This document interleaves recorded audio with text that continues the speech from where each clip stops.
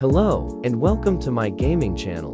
If you haven't subscribed then make sure you do. I will post Rec Room videos, FIFA videos, Rocket League videos, and Roblox videos. And even more. Also, the Rocket League GOAT Taylor AFC dude will be in most of my videos. Here is some of his Rocket League clips.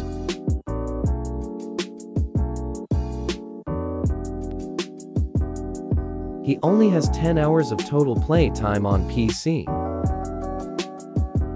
And he is already better than most players.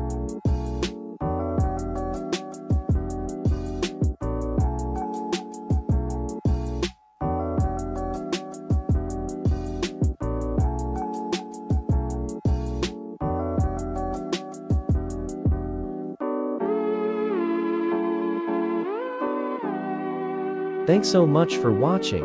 I hope you enjoyed. We will start uploading soon, and trust me you won't want to miss it. So hit that subscribe button.